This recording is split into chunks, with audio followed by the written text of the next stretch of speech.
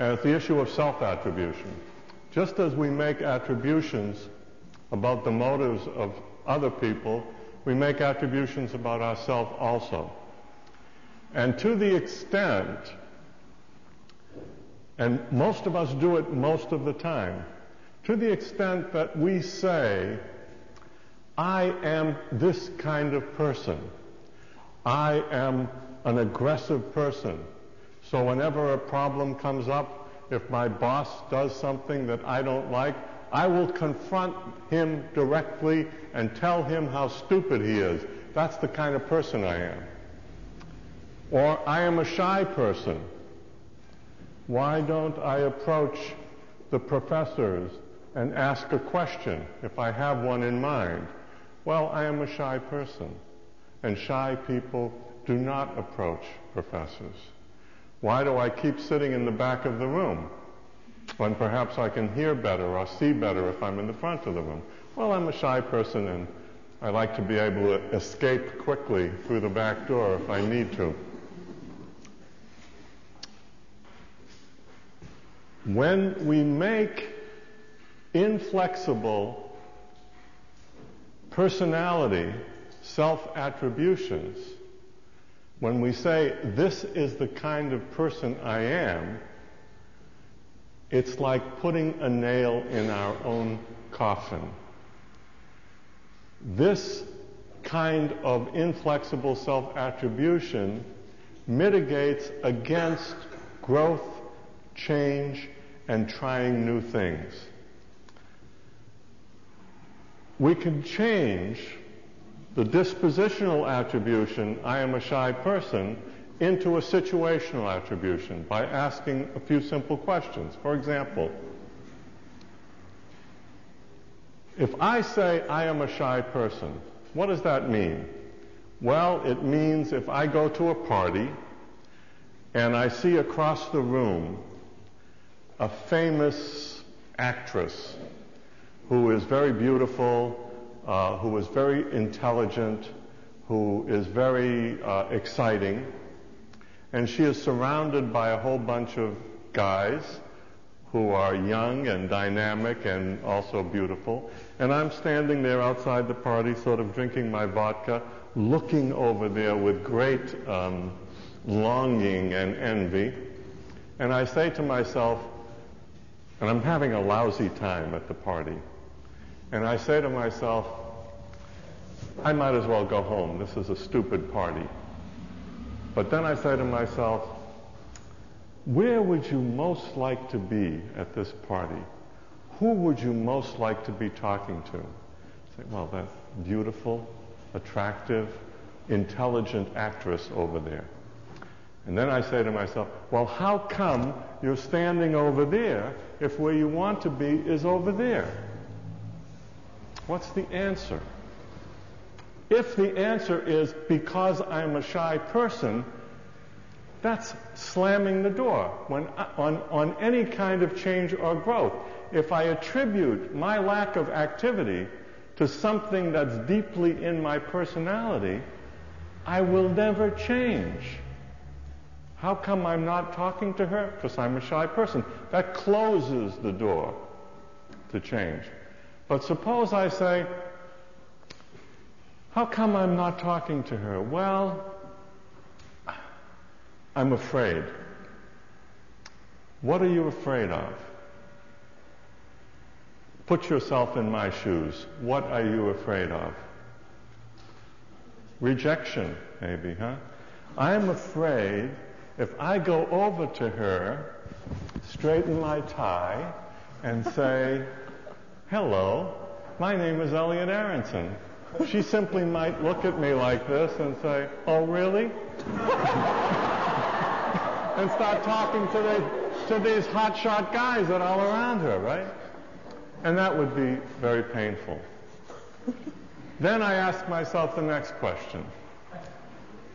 What is the probability that she will do that? Low. It's low. Not because I'm so terrific, but because she's probably at least a polite person. She's not going to turn around. She'll at least be a little bit friendly. And the next question is, even if she did reject me in a very cold way, what are the terrible consequences of that? What would I lose that I already have?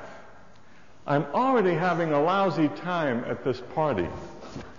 I'm about to leave the party and go back to my hotel room where I'm going to be watching television for the rest of the night in Polish.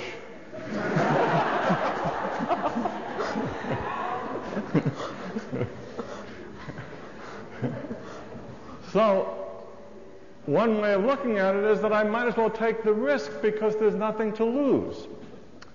The important thing is not exactly what I do or how I figure it out. The important thing is that by making a situational attribution, and here's the situational attribution. Instead of saying, I am a shy person, which is a dispositional self attribution, if I say, I'm a little bit afraid of rejection, and um, I'm not always afraid of rejection, because if I am on my home turf, if I am in my own town, surrounded by my own friends and my own colleagues, I can be extremely assertive.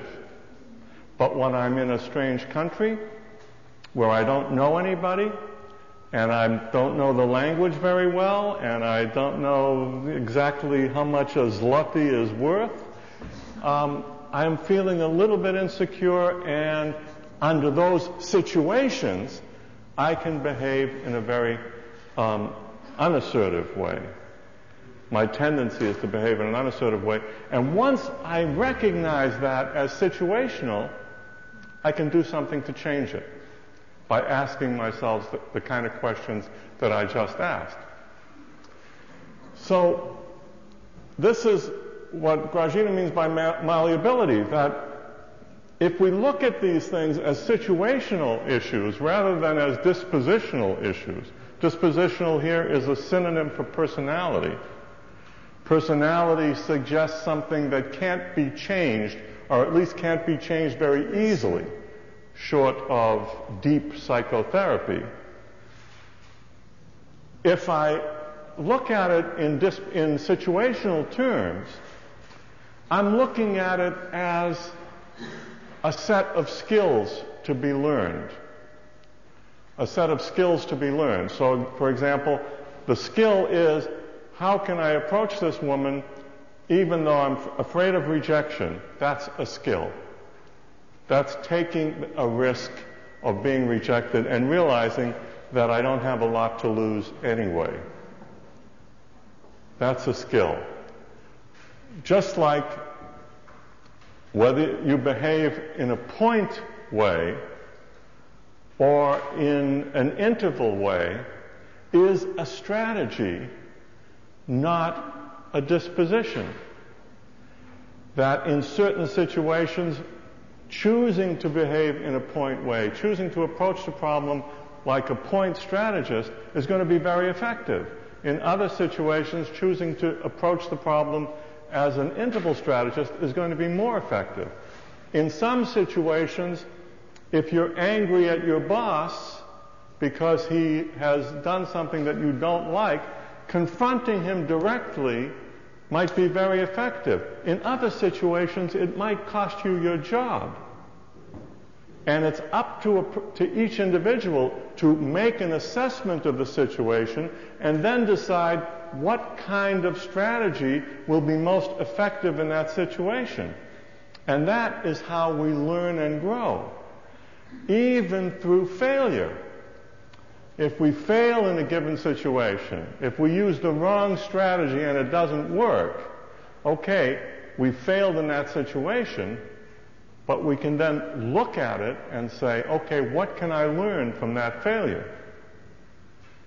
It's in that context, and you see how we're coming full circle in this course, it's in that context that self justification can be a really dangerous strategy because self justification following a failure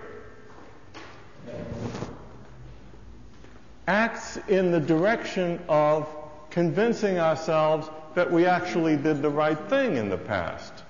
We justify the past behavior.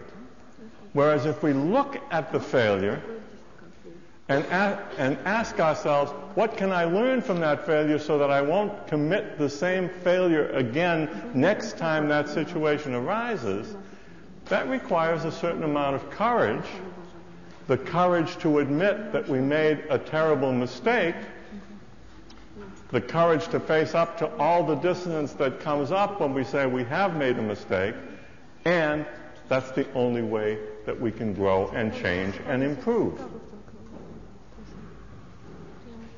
Any questions about any of that?